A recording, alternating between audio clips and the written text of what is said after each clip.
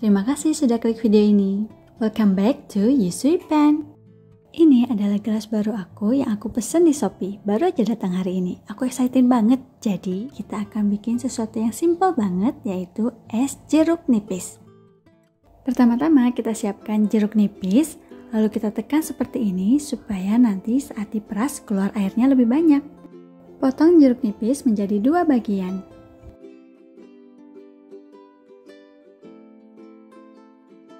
Sisihkan sebentar. Sekarang kita siapkan gelasnya. Lalu masukkan 100 ml air panas. Lalu masukkan 3 sendok teh gula. Bagi yang lebih suka manis bisa ditambahkan takaran gulanya. Aduk-aduk sampai gulanya tercampur dengan air.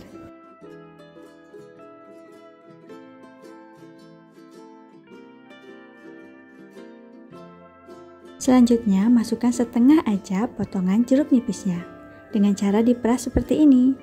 Karena aku nggak punya alatnya. Bagi yang punya alatnya atau punya saringan juga bisa dipakai saringan ya. Di sini cuma pakai setengah jeruk nipisnya aja, karena udah terasa asamnya. Karena aku nggak pakai saringan, jadi biji jeruknya aku ambilin satu-satu pakai sendok kayak gini. Selanjutnya masukkan 200 ml air. Terakhir masukkan es batu.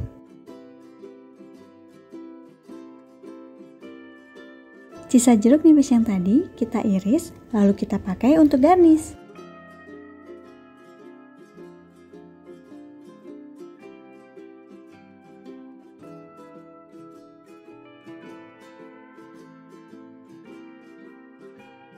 Es jeruk nipis sudah jadi.